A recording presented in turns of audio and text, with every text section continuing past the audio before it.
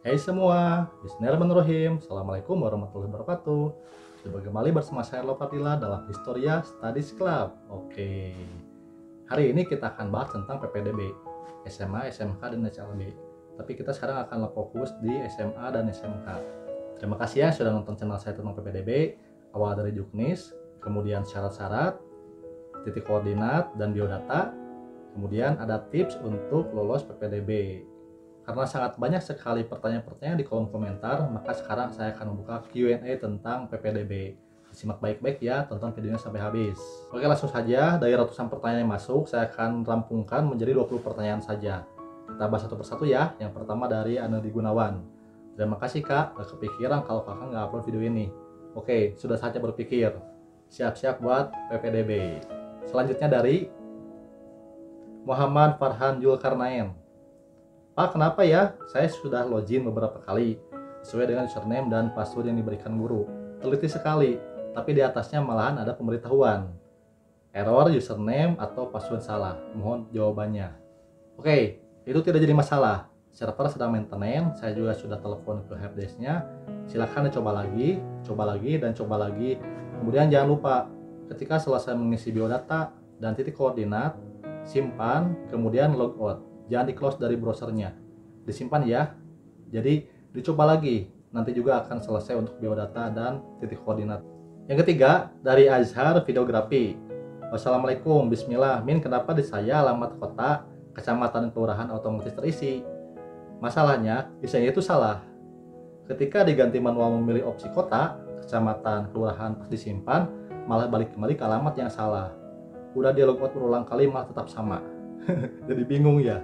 Oke, untuk data awal itu sudah terisi NISM, nama, kemudian ada wilayahnya juga, kecamatan dan kota. Kemudian ketika kita isi NIK, maka akan menjadi wilayah yang sudah sesuai dengan NIK. Yang jadi masalah itu ketika berbeda, kita coba ulang, tapi tetap salah. Ini kembali ke server database-nya. Dicoba lagi, coba lagi, nanti harus dipastikan bahwa NIK, nama, tanggal lahir kita, kemudian wilayah itu sama. Ya, terus coba lagi ini masih masa maintenance. Selanjutnya dari Raffi Naufal. Kang, kalau kabupaten kota, kecamatannya saya diganti gimana ya? Saya ketik tapi nggak bisa disimpan. Ya, jika salah, jika berbeda dengan database awal, ganti sampai bisa kemudian simpan dan logout. Terus coba, beberapa teman-teman sudah berhasil, beberapa teman-teman sudah report kepada saya, sudah berhasil merubahnya. Oke, semangat. Selanjutnya dari Budi Dino. Izin bertanya, saya pindahan dari Jakarta, sudah lama di Bekasi dan kakaknya juga sudah pindah ke Bekasi. Diulang ya. Dari Jakarta pindah ke Bekasi, kakaknya sudah di Bekasi. Dan anak saya juga sudah sekolah di Bekasi sejak SD. Tapi ketika buka website dan memasukkan nik anak saya, ternyata kolom provinsi sampai kelurahan masih alamat Jakarta. Tapi pada kolom alamat lengkap sudah sesuai di Bekasi, apakah ini bermasalah? Apakah masih bisa mendaftar sekolah di Bekasi? Mohon bantuannya dan petunjuknya. Oke tetap kembali ke database. Yang penting data kependudukan kita sudah sesuai. Apalagi yang pindahan ya. Dari Jakarta pindah ke Bekasi dan sudah punya kakak Bekasi kemudian anaknya sudah sekolah di Bekasi sejak SD jadi itu bisa diperbaiki. Dan pembudi Dino pasti anaknya bisa mendaftar di Bekasi karena sudah punya kakak di Bekasi sejak kecil. Siap. Selanjutnya dari Revin Aldi Min, ya aku tanggal lahirnya kok mundur satu hari ya bang? Aku coba betulkan lagi malah mundur satu hari lagi.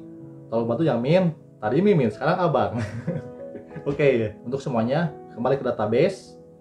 Patokannya itu adalah kakak. Nama, tanggal lahir, kelurahan, kecamatan, kota, dari kakak semuanya harus sama ke website PPDB. Jika masih berbeda, coba lagi. Terus berulang sampai berhasil. Karena ini masih ada waktu sampai tanggal 25 Mei untuk upload yang jalur prestasi. Ini saatnya untuk mengisi database dengan benar ya. Selanjutnya ini tentang koordinat dari Dia Ayu. Kak, sudah isi data lengkap beserta koordinat, sudah di save, tapi koordinat tertulis nol. Harus bagaimana ya? Nol di sini koordinatnya tidak sesuai. Ingat, untuk mendapatkan koordinat kita cari di Maps. Buka Google Maps, bisa di HP, bisa di browser. Kemudian ketik alamatnya dengan jelas, nama jalan, RT RW, kota, kabupaten, kecamatan pun tulis.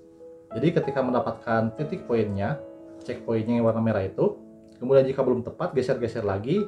Nah, jika sudah sesuai dengan alamat kita, kemudian kita klik lama, nanti akan muncul kalau di HP itu ada di atas. Ingat untuk koordinat itu diawali dengan min. Min 789 bla bla bla, koma dan sekian. Atau jika di browser diklik kanan, klik ada apa di sini. Kemudian nanti di sebelah kanannya akan ada kode koordinatnya. Sepertinya ini koordinatnya salah, makanya dianggap nol. Ingat koordinat diawali dengan min, ya. Min. Selanjutnya dari Zainal Abidin. Mau tanya kalau data sudah disimpan titik koordinat, apakah masih bisa diubah, Pak? Bisa. Data, koordinat, sampai masa pendaftaran itu bisa dirubah. Jadi pastikan data kakak dan koordinatnya sudah tepat. Dari sekarang ya, dari sekarang untuk data kakak dan koordinat sudah tepat. Nanti ketika kita mulai daftar kita sudah yakin tinggal pilih jurusan saja. Siap. Dari Dede Haryadi. Mohon maaf Min, di koordinat mau dirubah tapi nggak bisa menurut petunjuk. Ya, kembali, diulang kembali. Jadi untuk data pribadi dan koordinat, jika belum bisa dirubah, diulang kembali. Harus selalu diulang sampai berhasil dan di log out. Baik, selanjutnya ke urusan kartu keluarga. Dari Elsa Elsa Perlianda Putri. Pak, kakak minimal satu tahun itu maksudnya ya kakak di wilayah kita pindah atau kakak di wilayah lama kita. Oke, ini berawal dari titipan misalnya ada saudara kita ingin sekolah di sekolah A. Nah, menjelang PPDB, anak tersebut dimasukkan ke kakak. Ya, contoh gini, PPDB bulan Juni. Nah, si anak tersebut sudah dimasukkan ke kakak meskipun bukan anaknya tapi dianggap saudara menumpang itu di bulan Januari Artinya selang berapa bulan ya, belum setahun. Itu yang tidak bisa. Jadi, kalaupun mau menumpang, kalaupun mau ikut nebeng kakak, minimal satu tahun. Jadi nggak dadakan ya, nggak dadakan. Jadi bagusnya tuh kakak itu adalah kakak keluarga. Orang tua ada, kemudian kita selama satu tahun di wilayah mana pun itu bisa masuk. Jadi ingat, kakak di sini satu tahun itu untuk orang-orang yang nebeng, yang mendadak ingin sekolah A, di wilayah seperti ini kemudian dimasukkanlah ke kakak. Tapi kalau di bawah satu tahun itu nggak bisa. Kemudian satu lagi untuk yang pindahan boleh menyertakan surat izin domisili. Jadi sama harus satu tahun. Meskipun tidak punya kakak tapi punya surat domisili itu minimal satu tahun. Itu bisa dipakai. Oke? Selanjutnya dari Irfan Pratama Sibaga kalau misalnya saya mau sekolah di sekolah A terus orang tua saya mengajar sebagai guru SMA di sekolah B apakah saya bisa daftar di sekolah A menggunakan jalur perpindahan orang tua. Oke, ini masuk ke jalur perpindahan orang tua atau anak guru. Ya, jalur perpindahan orang tua atau anak guru. Bisa. Irfan bisa daftar di sekolah A, meskipun bapaknya ngajar di sekolah B. Jadi anak guru di sini itu bukan sebagai anak guru yang ngajar di sekolah ini. Anak guru di sekolah mana pun bisa masuk di sekolah apa pun asal dia mempunyai bukti sah. Syaratnya harus melampirkan data keperluan orang tuanya, nanti diupload pada tanggal 25 Mei.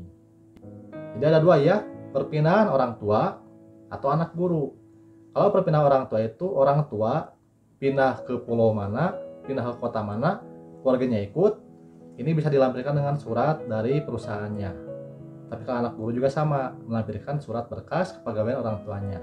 Seperti itu. Maka selanjutnya dari Siti Rahayu. Kelompok mapel A itu maksudnya mapel apa saja, apakah empat mapel UN saja, atau mapel lain juga dihitung untuk jalur prestasi. Baik, kelompok mapel A itu ada tujuh. Agama, PKN, Bahasa Indonesia, Matematika, IPS, IPA, dan Bahasa Inggris. Jadi tujuh nilai ini yang diinput oleh pihak sekolah untuk dihitung menjadi nilai prestasi. Kemudian empat mapel itu adalah Bahasa Indonesia, Matematika, IPA dan bahasa Inggris. Seperti itu. Jadi nanti akan kita bahas di tips untuk menghitung nilai kalibrasi, ya. Oke, selanjutnya dari Haruki TR. Salam Kang, mau tanya, kalau jalur prestasi lomba atau kejuaraan yang non Dikbud dan non Kemenag, bagaimana kriterianya? Sebagai contoh, pihak Eko Pesantren DT menyelenggarakan tingkat nasional, apakah bisa? Oke, untuk jalur prestasi kejuaraan itu ada dua kategori. Dikbud Kemenag atau yang non. Nah, itu tidak jadi masalah. Perbedaannya hanya di sektor saja. Perbedaan yang Depikbud dengan yang non itu adalah di skornya saja. Di sini yang dilihat adalah grade-nya. Yang pertama itu tingkat internasional, yang paling tinggi. Kemudian tingkat nasional, provinsi, dan kota kabupaten yang paling terakhir. Non pun sama, ya, non pun sama. Jadi tingkat internasional, nasional, provinsi, kota kabupaten. Jadi paling rendah untuk juara itu adalah juara tiga tingkat kota kabupaten. Jadi bisa bisa kita lampirkan untuk jalur prestasi. Selanjutnya dari Amin IDN. Min mau nanya, saya ambil contoh nih, seumpamanya saya daftar di SMA Negeri 1, amit-amit ya nggak keterima. Terus gimana bisa masuk ke SMA negeri yang lain? Apakah harus ke swasta? ya jangan dong. Berjuang dulu. Jadi ingat, ada dua periode. Daftar dulu di periode pertama untuk jalur afirmasi, prestasi atau pembina orang tua dan anak guru. Jadi ini dulu mudah-mudahan keterima kalau nggak keterima nanti daftar di periode 2 jadi di sekolah ini juga sama periode 2 itu untuk jalur jonasi satu sekolah kita bisa dua kali daftar periode pertama gagal daftar lagi ke sini untuk jalur jonasi jadi kita punya dua kali kesempatan untuk daftar ke sekolah ya. Semangat terus berjuang. Selanjutnya dari Riana Hindayani.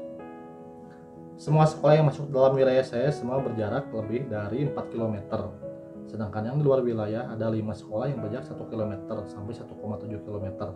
Apakah saya masih bisa mendaftar ke sekolah yang lebih dekat dari rumah atau tetap harus mendaftar yang wilayahnya jauh dan tidak ada peluang? Oke, saya dapat informasi terbaru bahwa zonasi ini zona satu wilayah itu tidak antar kecamatan itu adalah satu kota kabupaten jadi ini akan memberikan solusi buat yang jauh seperti itu jadi carilah sekolah yang paling dekat ya Selanjutnya dari Satria Wasugi. Pak, kalau jalur prestasi rapot harus upload file persyaratan khusus enggak? Dan kapan pendaftarannya? Ya, yang upload pada tanggal 25 Mei itu adalah jalur perpindahan orang tua dan prestasi kejuaraan. Kalau prestasi rapot itu kan nilainya sudah ada. Jadi kita tidak tidak upload lagi. Dan kapan pendaftarannya? Pendaftarannya pada tanggal 8 Juni 2020.